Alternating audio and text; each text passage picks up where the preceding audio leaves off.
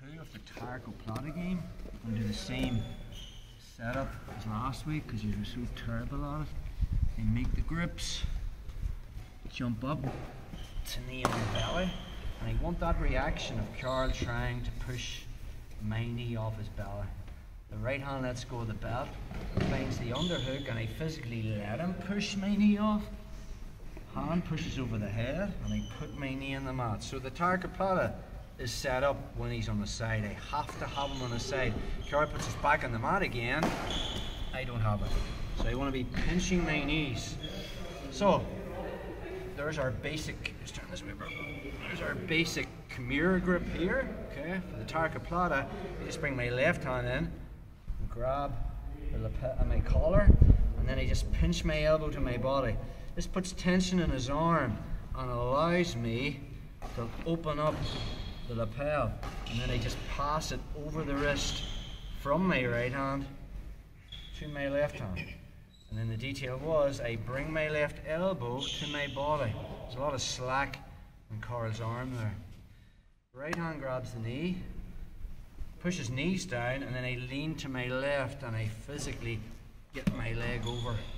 Okay, once I have my leg over, I let go of the lapel, find my thigh, from there I put my right hand on the mat, and then to finish, I sit on Carl, my left foot's planted, and then from there I'm physically pushing my right foot towards his head as I'm smearing my butt on, on him and I'm bringing my butt towards the ass as I lift my elbow. So that's where we got to last week. Okay.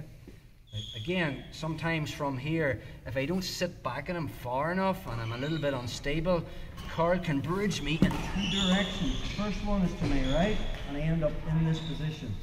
Now, if I'm not being careful about the placement of this leg, Carl can just pull his arm out, and I still have the Kimura. I want the Tarikoplata.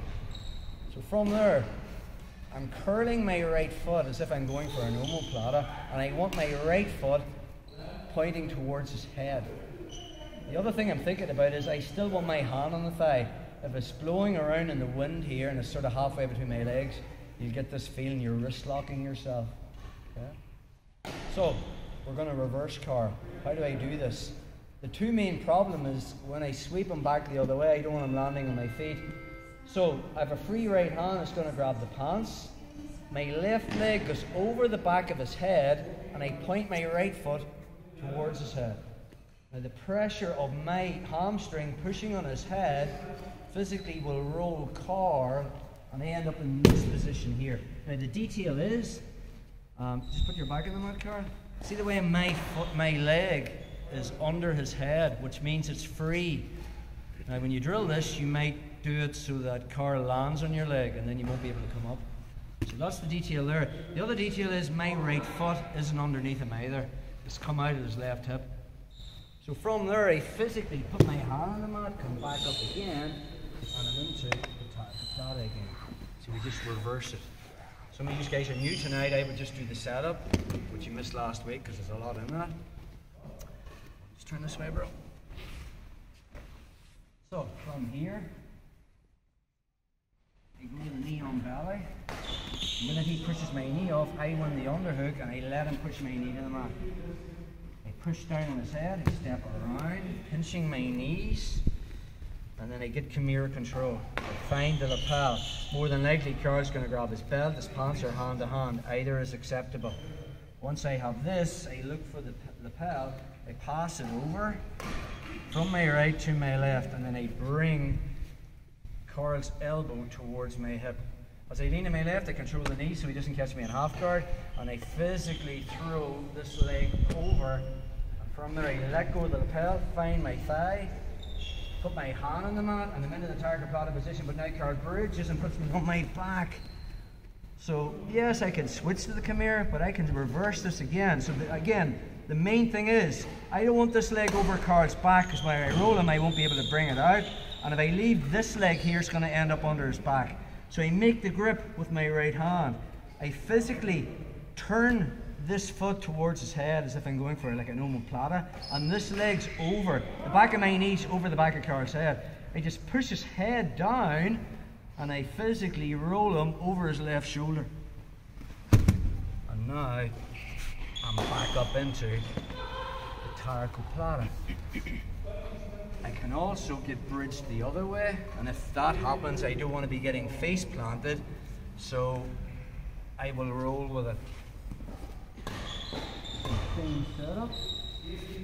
Carl pushes my knee off, I find the underhook, I step around, I get into the Kimura position, setting up, hard I get to here, only instead of Carl bridging um, backwards, he's going to bridge me forwards and we end up. Now, if Carl doesn't roll with me, just roll over, bro. I still have it on this side. If we need to do anything, let's go again.